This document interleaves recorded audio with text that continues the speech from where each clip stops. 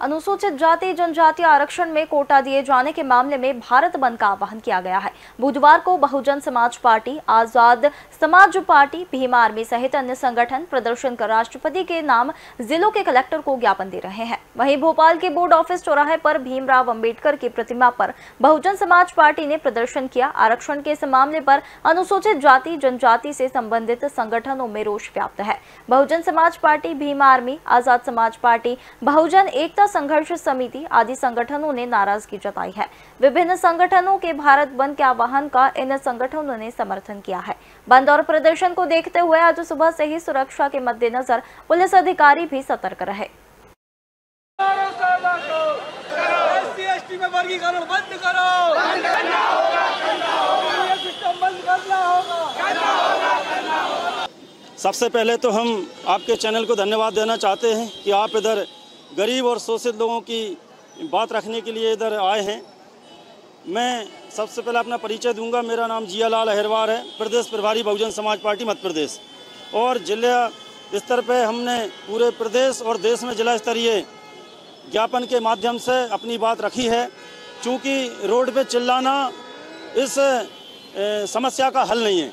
इसलिए माननीय बहन जी के आदेश अनुसार हम लोगों ने जिला स्तरीय आंदोलन करके ज्ञापन कलेक्टर के माध्यम से महामहिम राष्ट्रपति महोदय को भेजने का काम किया है, जिसमें हमारी पार्टी की ओर से करोड़ों दलितों मजबूरों की आवाज़ को उठाया गया है कि सरकार विशेष सत्र बुलाकर संसद में बिल पास करके और महामहिम राष्ट्रपति के पास भेजें और इस आरक्षण को जो सुप्रीम कोर्ट ने निर्णय दिया है, इसको निष्प्रभाव किया जाए।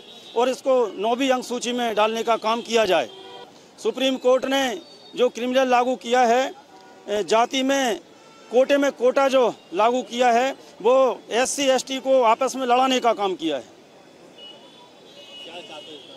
हम ये चाहते हैं कि जाति में जाति से जो लड़ाने का काम सरकार ने किया है, इस काम को, इस कानून को निष्प्रभावी किया जाए।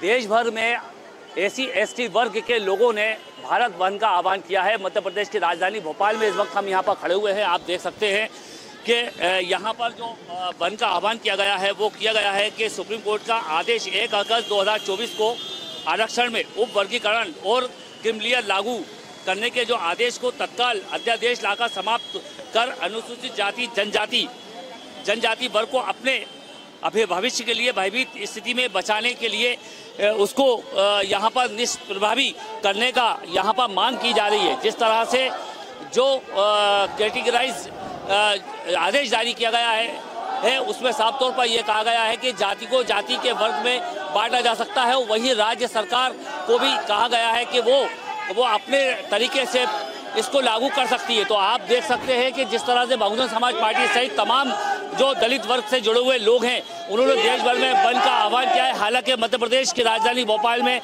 बंद का ऐसा कोई आह्वान नहीं दिख रहा है। तमाम जो तमाम जो प्रतिष्ठान है, वो अपने सुचारू रूप से यहाँ पर खुले हुए नज़र आ रहे हैं। हालाँकि सुरक्षा व्यवस्था की बात करेंगे तो सुरक्षा व्यवस्था राजधानी भोपाल में कड़ी यहाँ पर कर दी गई है। कैमरामैन हेमंत यादव के साथ आबिद उमदास एशियन भारत, भोपाल।